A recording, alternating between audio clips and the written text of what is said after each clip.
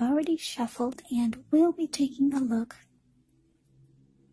at the recent past energy between you and the person that you're currently dealing with. We'll see what's coming up for the two of you. We'll find out what the challenge is going to be, and then we'll take a look and see what the outcome is.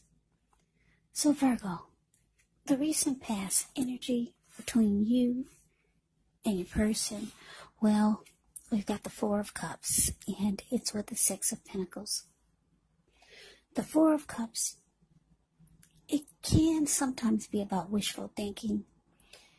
It does warn us to remember to pay attention to what is now and to actually count your many blessings that we each currently experience and not to worry too much about what could be.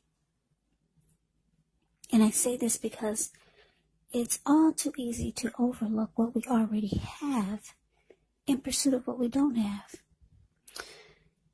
And because the Four of Cups is clarified by the Six of Pentacles, the card that's below the word pass, it's telling me that you could have been dealing with someone who made you feel maybe devalued. They could have made you feel like you weren't good enough. This person, maybe they made you feel unloved. Um, and because it's with the Six of Pentacles, like I said, the card below the word pass, um, you might have wanted something good with this person, a good relationship, or you might have wanted it to grow, but this person was not doing their fair share of giving to the relationship. Yeah, because the Six of Pentacles can be about generosity, it can be about giving, and it can mean that you could be the beneficiary or the giver of something of value. So this is also telling me that um, for some of you, your person, they were not doing their fair share. There was not, put it this way, there was not a healthy dose of give and take in the connection. Or you could have been the only one that's giving to the relationship. And it just made you feel some kind of way. Yeah, just made you feel like maybe you didn't want to accept what they were offering, which was not much. Yeah, or they just didn't do their fair share of giving to the connection. You could have been dealing with a Taurus a Aries, and some of you are dealing with a Capricorn.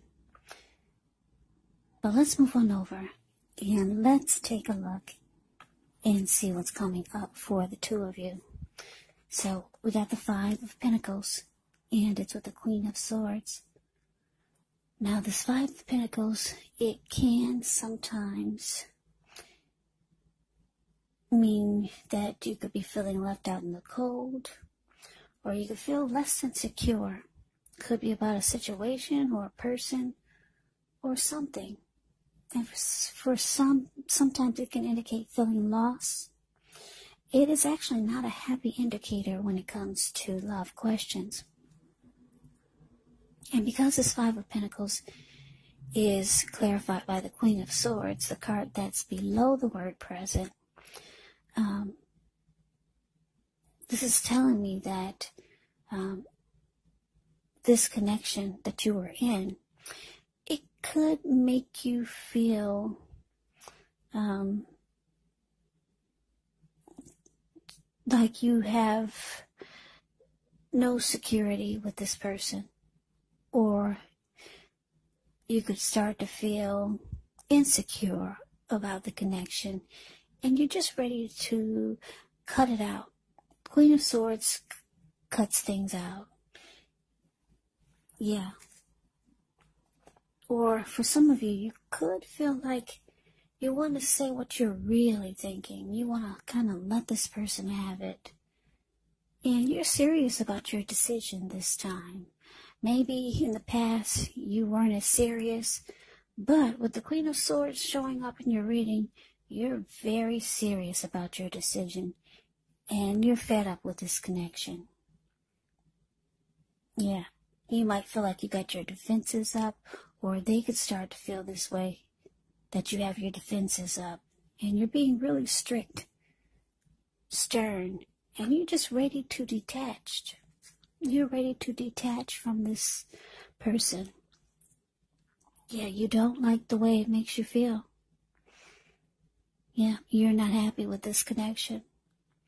So we move on over and take a look and see what the challenge is. So we got the Queen of Cups, and it's with the Five of Cups. Now, the Queen of Cups is a card above the word challenge. Just know whenever you see the Queen or the King of Cups in a reading, those are actually two of the most loving energies in the tarot.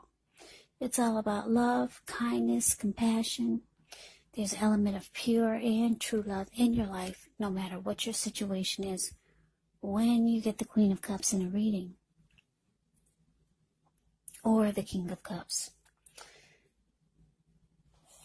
Yeah, so what this is telling me is that um, this person that you were dealing with, they actually had a lot of love for you. And you probably didn't know it because because of their reactions or because of their actions, put it that way. Yeah, this person they did want to heal the connection they wanted to fix it. They wanted to nurture it. They wanted to support it.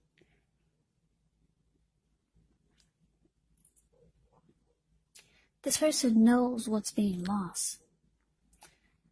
Um, Five of Cups is the card below the word challenge. Um, this person could be missing you. Yeah, they're missing you. But more than anything, um, there's disappointment. It could be on both parts. Five of Cups, that card below the word challenge, you get disappointment.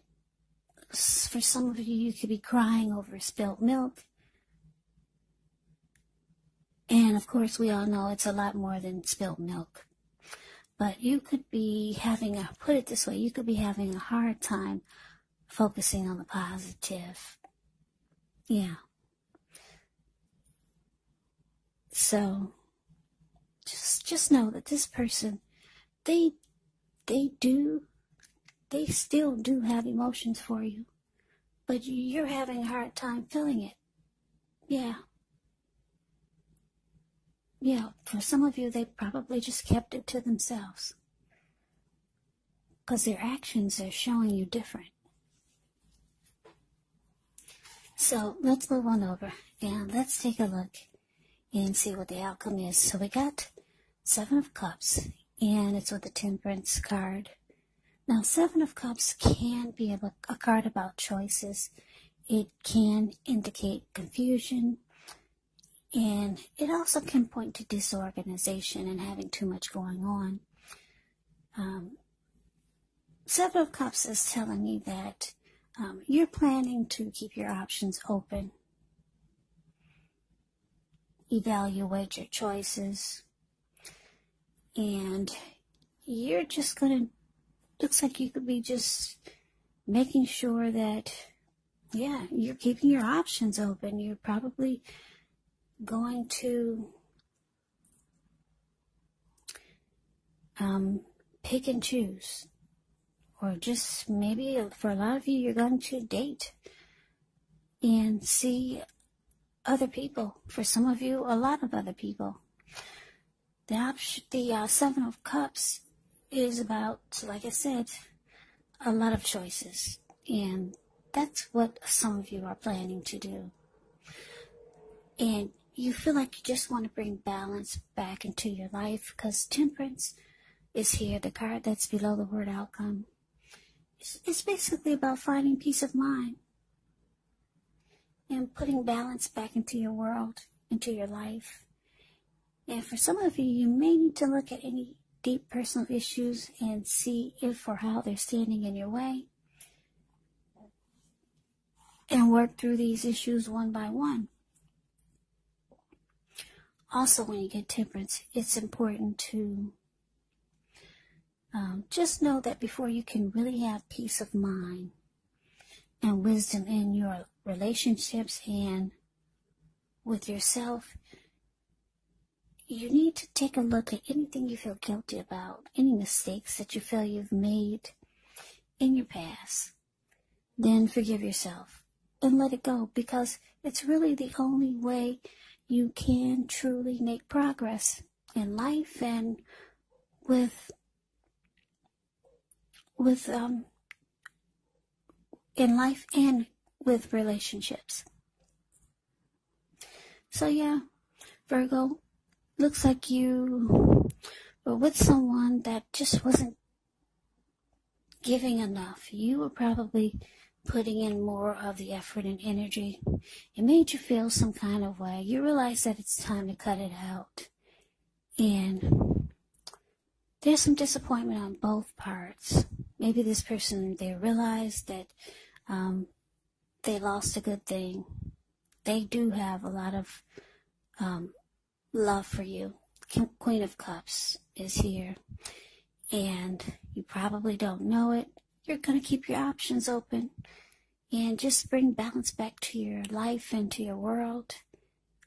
And that's the reading that I have for you. I hope you enjoyed the reading. I hope it resonates. As you know, general readings, they do not resonate with everyone. Then again, if you like the reading, please comment, subscribe, hit the notification bell. That way you'll be notified when I post my next reading, I will also put a link below of the extended of this reading, where I'll go over how you both feel about the situation, what's in the near future for the two of you, how you see yourself, best case scenario, and what, what will happen between the two of you in the next few weeks. There's also a link below for personal readings if you'd like to try one of those. So Virgo, thank you so much for watching. I hope all of you are doing well and staying safe during this crazy virus season. Hang in there. It's gonna pass. We'll all get through this. So stay strong and take good care. I hope you come back and join me for the next Virgo reading, just in case this did not resonate. Maybe the next reading will. Also, keep in mind when you get the readings, the roles of the people can be switched. Yes, they can be reversed, meaning you could be them or they could be you. And if you're not dealing with anyone romantically, the other person could actually be a friend, family member, a coworker, or maybe even a situation. So just take the reading for however it resonates. Because once again, these are general readings. They are not personal readings. So, Virgo, I can never say it enough. I thank you so much for watching. I hope you have a great day. I hope to see you at the next reading and take care.